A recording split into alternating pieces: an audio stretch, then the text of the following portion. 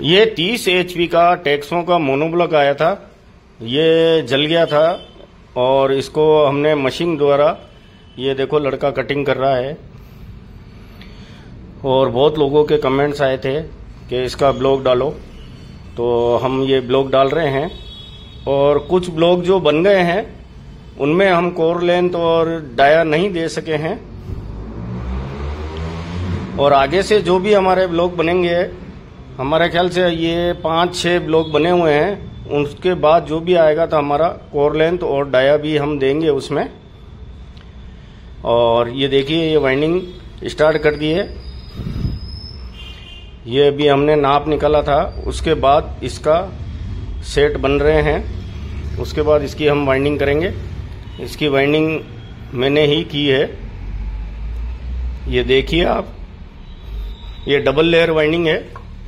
और इसका मॉडल है कमेंट्स आया था, उसका मॉडल है टी एम एच उनचालीस एम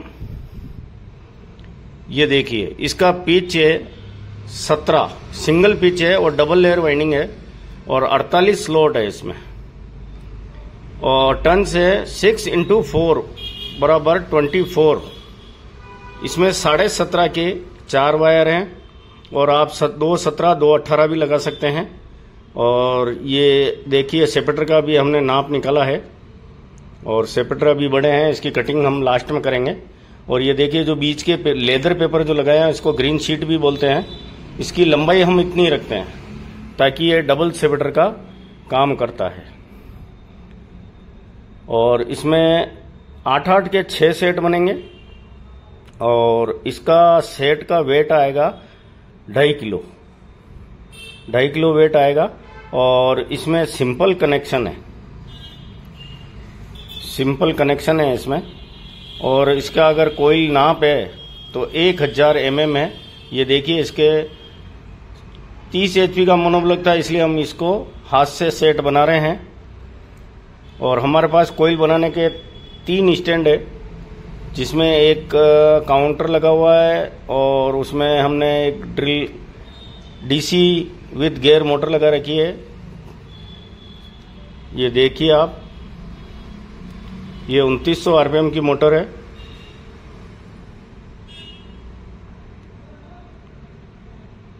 और ये इस प्रकार से हम माइनिंग करते हैं और इसको हमने कंपनी पीवीसी देती है और हमने इसमें स्लोड में नोमेक्स लगाया है और ऊपर हमने सात मील का पीवीसी लगाया है।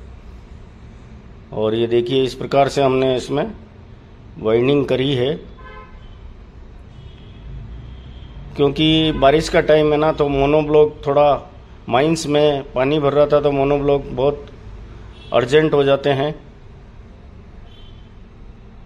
क्योंकि माइंस का काम थोड़ा स्लो हो जाता है, इसलिए बहुत अर्जेंट देना पड़ता है हमको। ये लास्ट साइड डल रहा है। ये देखिए आप। इस प्रकार से हम वाइंडिंग करते हैं और आप, दोस्तों, आप लोगों को और भी किसी प्रकार के ब्लॉग या आपको हमारा वीडियो पसंद आए तो आप कमेंट्स करिए, हम किस प्रकार के ब्लॉग डालें। इस मोनो ब्लॉग की बहुत डिमांड थी, बहुत मैसेज आए थे हमारे पास तो आज हमने ये ब्लॉग डाला है। और इसके डेटा भी आपको दिए हैं। ये देखिए, थोड़ा शाम हो गया था तो हमने इसको बल्ब, क्रेन पे बल्ब लटकाया है। ये देखिए आप।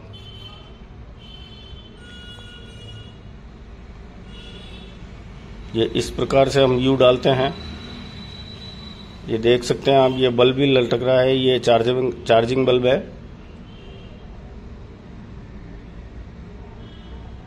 और इसको आज ही हम पूरा कंप्लीट करेंगे।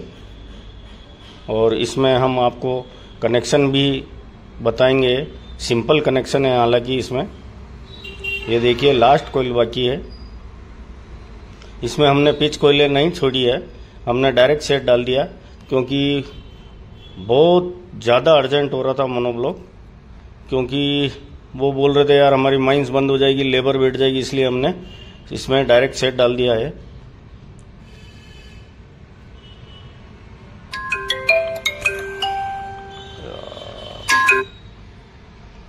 ये देखिए अब इसके कनेक्शन ये हमने, ये टॉप से टॉप जंपर हो गए, एक से चार पे।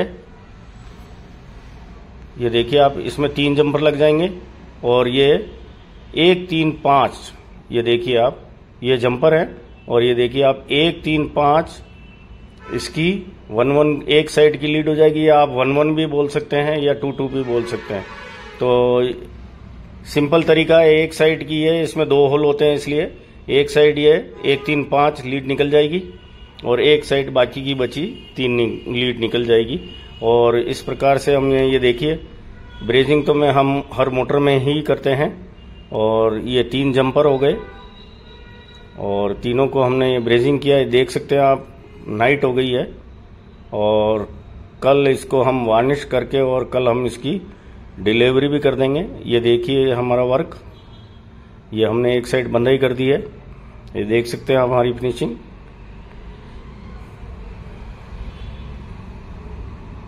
ये देखिए, ये पूरी कंप्लीट बंदाई हो गई है और उसके बाद ये फिटिंग करके और हम फ़ैन और फ़ैन कवर हम बाद में लगाते हैं।